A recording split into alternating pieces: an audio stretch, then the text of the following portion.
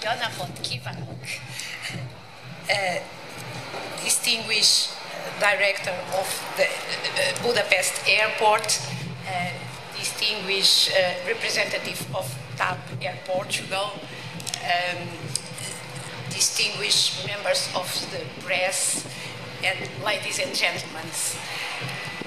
I am very happy to participate today in this meeting with the media in order to inform about the re-establishment of the direct air link between Portugal and Hungary by the Portuguese flag carrier TAP Air Portugal. Furthermore, I feel that this event is also a true celebration because I was aware that many Hungarians and Portuguese who were faithful customers of TAP remained hopeful that this day would arrive. I can say that I was one of them.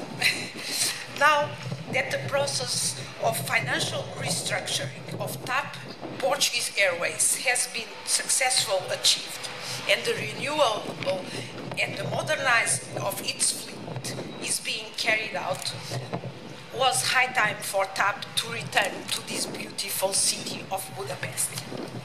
Both Hungary and Portugal, two countries with a long and glorious story and with ancient cultures reflected in their many monuments, together with an attractive climate, have been re registering strongly contribute to these record figures. The tourist flow is increasing in Portugal and in Hungary, and TAP Air Portugal is the better way to uh, increase even more those um, tourist uh, flows.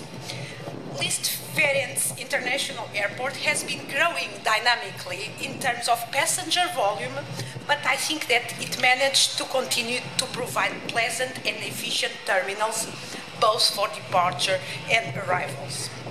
At the same time, one must not forget that Hungary strategically located in Central Europe and Portugal, situated in the other uh, western most tip of Europe.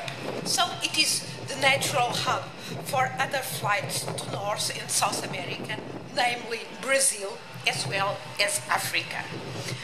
I can foresee a large success for this renewable air linkage provided by TAP Air Portugal.